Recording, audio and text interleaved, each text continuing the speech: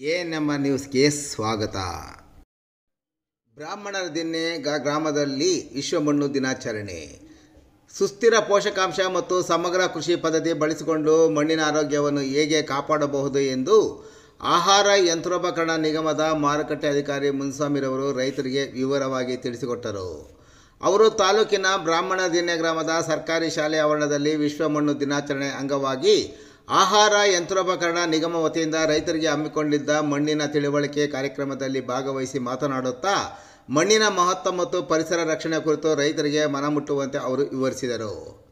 ಇನ್ನು ರೇಷ್ಮೆ ಕೃಷಿ ಕಾಲೇಜಿನ ಸಹಾಯಕ ಅಧ್ಯಾಪಕರಾದ ಹರೀಶ್ ರೆಡ್ಡಿ ಮಾತನಾಡಿ, ಇತ್ತೀಚೆಗೆ ರೈತರು ಮಿತಿಮೀರಿ ರಾಸಾಯನಿಕ ಗೊಬ್ಬರ ಮತ್ತು ಔಷಧಿಗಳನ್ನು ಬಳಕೆಯಿಂದ ಆಗುತ್ತಿರುವ ಸಮಸ್ಯೆ ಹಾಗೂ ಪರಿಣಾಮಗಳ ಪರಿಣಾಮಗಳ ಬಗ್ಗೆ ವಿವರಿಸಿ ರೈತರು ಹೇಗೆ ಸಾವಯವ ಕೃಷಿ ಮತ್ತು ಸಮ ಪ್ರಮಾಣದ ರಾಸಾಯನಿಕಗಳನ್ನು ಬಳಸಿಕೊಂಡು ನಮ್ಮ ಮುಂದಿನ ಪೀಳಿಗೆಗೆ ಸಮೃದ್ಧ ಪರಿಸರವನ್ನು ಸಂರಕ್ಷಿಸಬಹುದೆಂದು ರೈತರಿಗೆ ತಿಳಿಸಿಕೊಟ್ಟರು. ಇನ್ನು ಕೃಷಿ ಅಧಿಕಾರಿ ಪ್ರವೀಣ್ ಕುಮಾರ್ ರೈತರೊಂದಿಗೆ ಸಂವಾದ ಮಾಡುತ್ತಾ ಸರ್ಕಾರದ ಯೋಜನೆಗಳಾದ ಪ್ರಧಾನಮಂತ್ರಿ ಫಸಲ್ ಬಿಮಾ ಕೃಷಿ ಯಂತ್ರಧಾರೆ ಹಾಗೂ ಇತರೆ ಸೌಲಭ್ಯಗಳ ಬಗ್ಗೆ ಮಾಹಿತಿ ನೀಡಿದರು.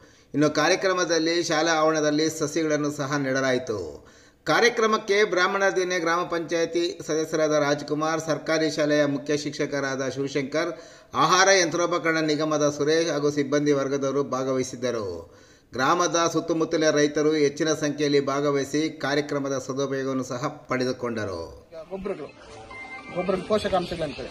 ಸೊ ಮೊದಲಿಗೆಲ್ಲಾನು ಈಗೇನು ನೀವು ರೀಸೆಂಟ್ ಆಗಿ ಮೈಕ್ರೋ ನ್ಯೂಟ್ರಿಯನ್ಸ್ ಅಂತಾರೆ ಜಿಂಕು, ಬೋರಾನು ಕ್ಯಾಲ್ಸಿಯಂ ಐರನ್ ಇವೆಲ್ಲ ಡಿಫಿಷಿಯನ್ಸಿ ಇರ್ಲಿಲ್ಲ. ಇತ್ತ ಒಂದ್ ಹದಿನೈದು ವರ್ಷದಿಂದ ಯಾರು ಆಗ್ತಾ ಇರ್ಲಿಲ್ಲ.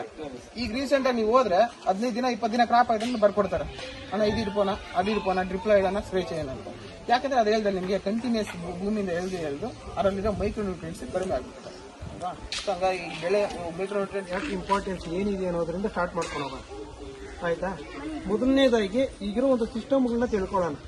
ಈಗ ನಮಗೆಲ್ಲ ಗೊತ್ತಿರೋ ಹಾಗೆ ನಮ್ಗೆಲ್ಲ ಗೊತ್ತಿರೋ ಹಾಗೆ ಪಾಪ್ಯುಲೇಷನ್ ಎಷ್ಟಿದೆ ನೂರ ನಲವತ್ತೊಂದು ಕೋಟಿ ಜನಸಂಖ್ಯೆ ಇದೆ ನಮ್ಮ ಒಂದು ಭಾರತದಲ್ಲಿ. ಅಂದ್ರೆ ಚೈನಾಗೆ ಕಂಪೇರ್ ಮಾಡಿ ನೋಡ್ರಿ, ನೂರ ನಲವತ್ತೈದು ಕೋಟಿ ಇದೆ. ನಿಮ್ಮ ಮೊಬೈಲ್ ಯಾವಾಗ ಕೂತ್ ಬೇಕಾದ್ರೆ ಸರ್ಚ್ ಮಾಡಿ ನೋಡ್ರಿ, ನೂರ ನಲವತ್ತೈದು ಕೋಟಿ ಜನಸಂಖ್ಯೆ ಚೈನಾ